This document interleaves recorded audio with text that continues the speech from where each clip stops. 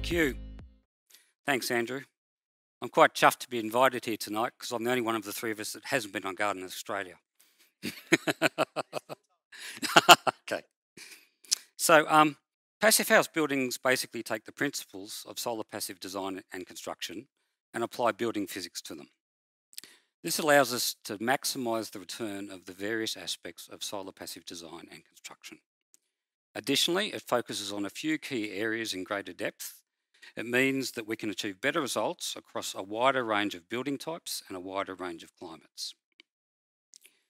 It also takes into account condensation. Now, condensation is a growing issue in our buildings. It's been occurring ever since we started insulating, and it's causing some major health and construction issues. So let's look first, what is a, passive house building? At its most basic, it's simply one that performs the way we think our homes currently perform. So when we close up our windows and our doors to keep the heat out in summer or to keep the warmth in winter, we're actually not. Our buildings are very, very leaky. Most houses of an average size will have at least an open window's worth of leaks, if not an open door or more for larger ones. So we're not actually isolating the indoor climate from the outdoor climate. This, of course, requires extra energy, heating and cooling to keep the home comfortable. Here's a thermal image I've taken of a skirting board to uh, demonstrate one of these leaks. Um, you can probably see the yellow line there. That's hot air leaking in through the wall structure. And this is only about a 33 degree day, 25 inside with air conditioning on. If it was 40 or 45 degrees, that leak would be much bigger. Now, there's a misconception that we need these leaks for our houses to breathe, and that is not the case. We certainly need our houses to be ventilated, but unless we do this in a controlled manner, we end up wasting lots of energy and we end up with health issues. This is mould inside a wall. And one of the reasons it's there is because of air leaks. You can see how the black has uh, even eaten away at the timber framing.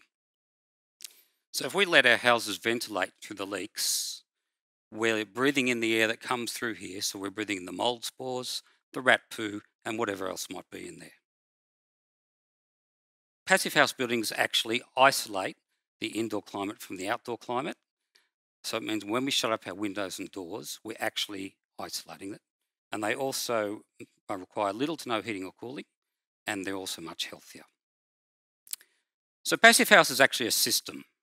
In a nutshell, it's a tool to predict a building's performance, some principles to then achieve that performance, and really key, quality construction and testing to uh, ensure we've met the performance. There's no other system that mandates testing. Actually make sure you've achieved what you set out to do. Let's define performance. We want our buildings to be comfortable, we want them to be healthy, and we want to do this in an efficient manner. I'm going to go into a bit of detail about what comfort actually is. These are a couple of screenshots from the Bureau of Meteorology app. So the big number is the air temperature. Below that you can see it feels like, which is our comfort temperature. A bit further down we've got a wind uh, speed and then humidity. So if we first look at the Penrith example on the left, this 41 degree day actually felt a bit cooler at 36. This is because we had quite a strong breeze, but critically very low humidity at 18%. Conversely, in Cairns on the right, a 31 degree air temperature day felt hotter at 35. Partly this is because of a lower breeze, but more importantly because we had really high humidity, 77%. So comfort is made up of these three factors, the air temperature, the air movement, and also the humidity. So in a passive house, we set parameters for those three factors. We try and keep our temperature, our air temperature, between 20 and 25 degrees year round. We want our humidity to remain between about 35 and 65% year round. And we want to control our air circulation. So we have no drafts from the air leaks, no convection currents, and no temperature layering. This is achieved by preventing a radiant heat or cold from surfaces affecting the air. So in a passive house, we make sure that the difference between the air temperature and the surface temperatures is no more than 4.2 degrees. All of this happens whilst using very small amounts of energy. So the heating and cooling costs in a passive house will average out to be less than the cost of a coffee a day for an average size home. That figure of 15 kilowatt hours is the maximum allowable to achieve certification.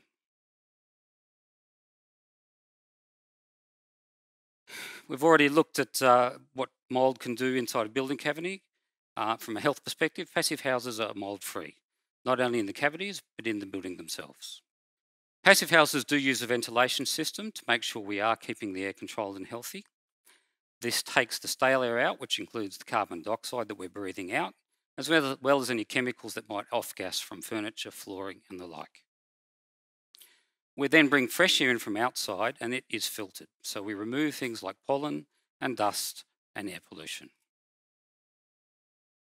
Again, this is whilst using very small amounts of energy for heating and cooling, and indeed very small amounts of energy for running the whole building.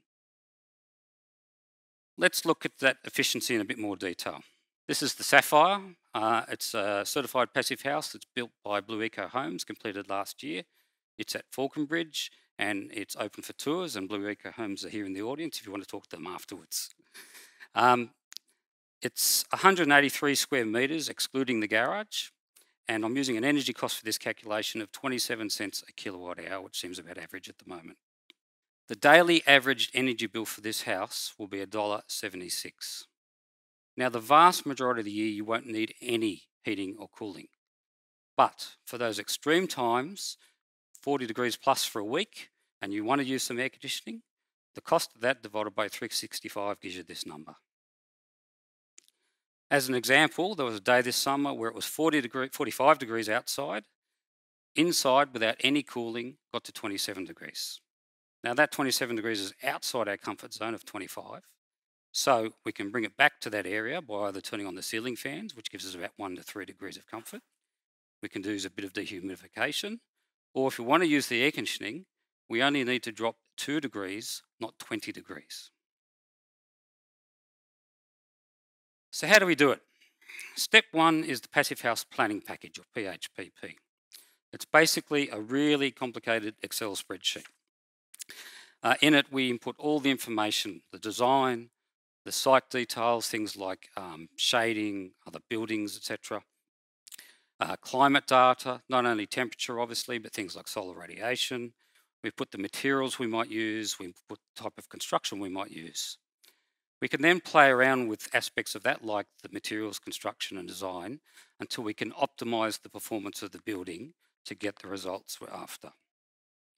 The reason it's a spreadsheet and not a software package is because it allows us to easily update uh, the ongoing testing and research of passive house buildings around the world. It also allows us to update things like materials research and science as that comes to hand. PHPP will predict the energy of, and performance of a building with 95% accuracy. What that means is if you happen to fall in that other 5%, instead of your building being between 20 and 25 degrees, it might be between 19 and 26. The next step is actually the way we build, and it's all about the building envelope. And the building envelope is what surrounds the parts of the house we live in all the time. First step is we have an airtight layer. So surrounding the whole building envelope, a layer that keeps uh, isolates the indoor climate from the outdoor climate. It also um, helps us with our moisture control. Next, we have a continuous layer of insulation, again around the whole building envelope. Insulation is not just good for keeping the warmth in in winter, but it's extremely effective at keeping the heat out in summer. And a passive house rated building will generally have more insulation in it than the construction code. Our insulation layer is only as good as its weakest points, and the weakest point in any building is the window. Windows are notoriously leaky and uh, let air in and out, not only through gaps, but through uh, convection and radiation. So we need to have a better quality window to match the climate. The more extreme the climate, the more high performance the window we need. The example on the screen is a very high performance window. You can see from the cross section, the thermal imaging there, that there is no transfer from the warm side to the cool side. This is an example of an extremely poor performing window. This is a double glazed window, but it's a standard aluminium frame. And you can see how the frame is leaking heat into the building. This is called a thermal bridge, and thermal bridges are the next thing we try and get rid of in a passive house. Not only things like window frames, but corners and anywhere where we've got a change of material. Now, we obviously can't eliminate corners, but we can construct them differently so that they don't act as a thermal bridge. The top left picture shows a stud frame construction with uh, insulation between it, thermal image obviously, and you can see how the studs are leaking energy. Now there's nothing wrong with stud frame, you just need to build it properly so it's not a thermal bridge. Finally, as I mentioned, we have a ventilation system. Keeps the air nice and fresh and healthy. However, it's no good bringing all that fresh air in from the outside if it's 45, 50 degrees and it's just going to heat the house up. So it has what it's called a heat recovery unit and it literally takes the heat out of the air. Using the example on the screen, if it's 40 degrees outside, 20 degrees inside, the heat recovery works 90% efficiency. So it takes 18 degrees of temperature out of that air so that the fresh air coming in is down at nice 22 degrees. All of these aspects of the building envelope are best practice when it comes to condensation management. And what does condensation do? That mould that we saw before. And this example is only 12 years old. It's in Sydney's inner west, which is arguably a very mild climate. So the more extreme the climate, the more chance of condensation. And it's built to what is the, the current construction code. Finally, as I said, Passive House uses uh, mandates testing, and it's the only system to do so. One of the main tests is a blower door test to make sure our airtight layer is good. The maximum allowable in a passive house is 0.6 air changes per hour. That's 0.6 air changes per hour. To put that in perspective, testing on Australian homes has revealed the average is about 15 cha air changes per hour, some even as high as 30 or more. If your building is leaking to the extent of 15 air changes per hour and you're cooling it with your air conditioning, that means you're cooling the volume of that building 15 times every hour, and it's costing you a fortune. Once we've completed our testing, we put the results back into our PHPP to make sure the standard is met. Um, if it's not, we go back and we test again until we get it right. So what does a passive house building look like? The answer is anything you want. Passive house is not just about houses. It comes from the German term passive Haus. Haus means building. As you can see from these photos, there's commercial buildings, there's offices, multi-residential, schools, there's a car dealership, including its workshops in Canada, there's shopping centres. Schools in particular work really well. All those kids in a room are breathing out lots of carbon dioxide. Carbon dioxide makes you noddy. The ventilation system takes the carbon dioxide out of the air and what they've found is passive house rated schools, the students are far more alert and attentive. This last couple of photos is a project of mine that's under construction. We're turning a little old brick veneer into a passive house. So yes, you can refurbish and rebuild to the standard. However, if we look at a passive house in infrared, we see a massive distance difference.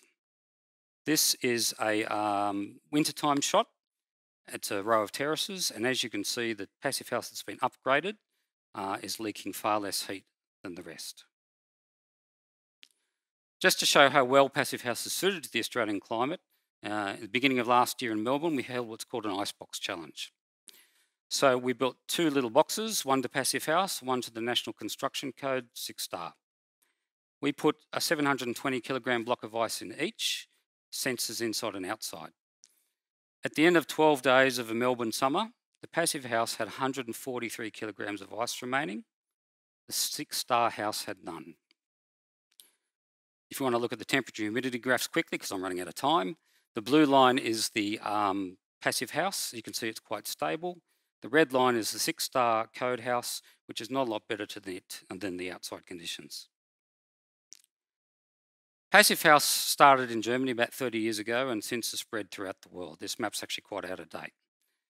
The reason uh, it's actually being adopted by many councils, cities, and states um, around the world as, if not their building code, then best practice.